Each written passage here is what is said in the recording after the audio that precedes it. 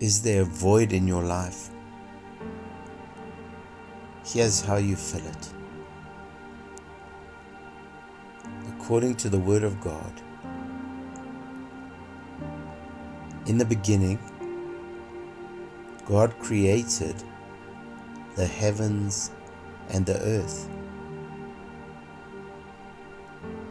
But the earth was formless and void, and darkness was over the face of the deep. But God said, Let there be light.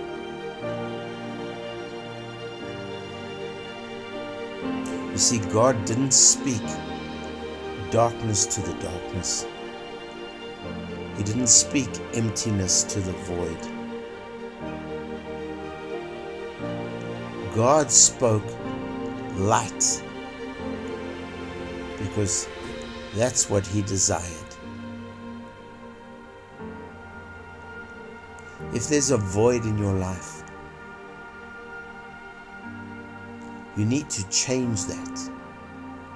And you change that with the way you speak. Learn from God. Learn from the Word of God. God calls those things that are not as though they were.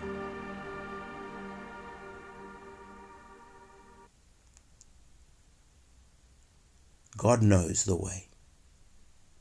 God teaches us the way. And most of our problems come from not following that way. Today, change your life. Believe what God says.